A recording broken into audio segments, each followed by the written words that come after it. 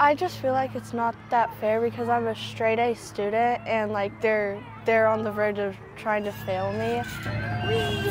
Miley Eason is trying to slide into the fifth grade.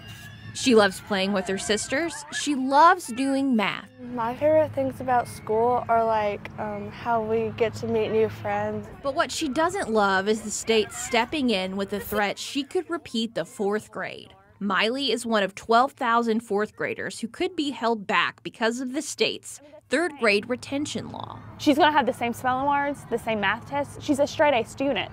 She's not struggling with curriculum. Maybe it's the test.